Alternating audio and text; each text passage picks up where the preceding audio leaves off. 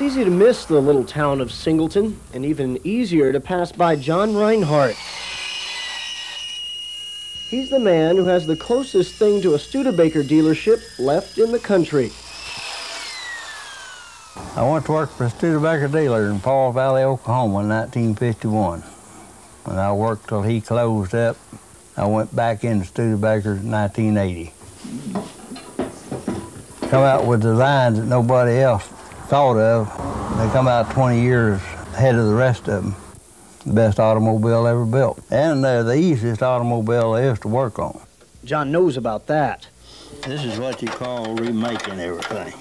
John practically builds new cars, starting from virtually scratch. His partner handles the bodywork, John handles the mechanics. They wasn't nothing.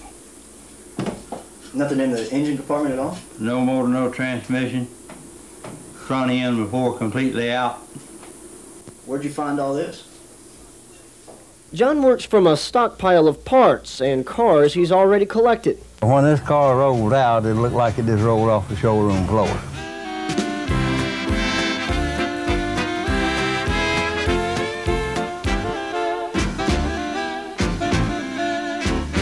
Yeah, they al always had an eye peel.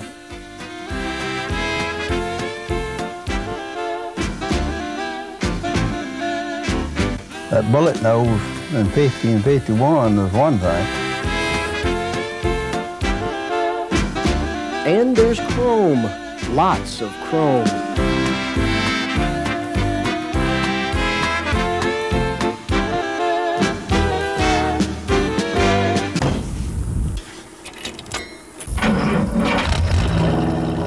So many years of work with them.